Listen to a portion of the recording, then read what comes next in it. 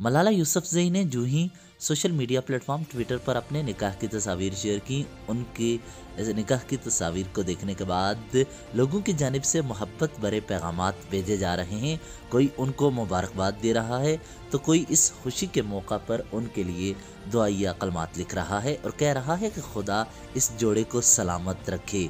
उन्होंने अपने Twitter account में, पर इस पोस्ट में चार तस्वीर शेयर की। एक में निकाह खान के हमरा, दो जोड़ा मौजूद है। दो तस्वीर घर के बाहर या पार्क में हैं, जबकि एक तस्वीर में वह अपनी वालदा और वालिद के हमरा खुशी से बैठे हुए हैं और चेहरे पर इत्मीनान, खुशी और बहुत ही सादापन महसूस होता है। मलाला यूसुफजई असर के साथ आज निकाह के बंधन में बंध गई हैं। उसके बाद अब अब से उनके लिए नए ख्वाहिशात के पैगाम भेजे जा रहे हैं। दुनिया भर से पैगाम का तांता इस वक्त हमें नज़र आ रहा है। इस हवाले से अलग से वीडियो हम बनाएँगे, जिसमें बताएँगे कि उनके खावद कौन हैं। और जिनके साथ उनका निकाह हुआ, वो क्या करते हैं? वो तफसलत अगली वीडियो में।